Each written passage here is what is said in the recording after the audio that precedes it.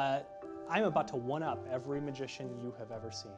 Most magicians, they have one person pick a card, they find it, oh no, no, that's beginner stuff.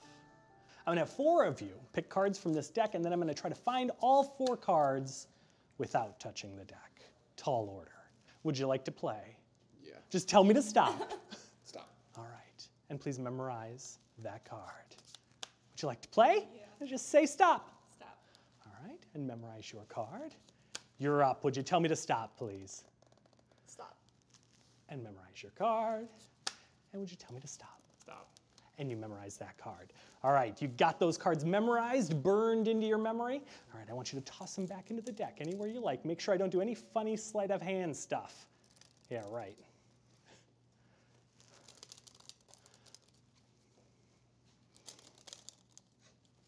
And as I said, I'm going to find all four cards, but I'm going to do so without touching the deck. For the remainder of the trick, the deck goes inside the glass.